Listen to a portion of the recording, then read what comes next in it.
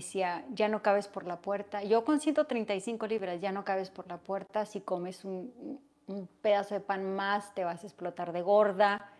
Todo eso sola a los 18 años me afectó mentalmente. Psicológicamente hace Sí, mucho daño. sí. A veces las palabras son más hirientes. Eh, Esto es este, Sí. dificilísimo, ¿no? Y como estabas sola, no tenías a quien contarle lo que estabas viviendo. 17 años.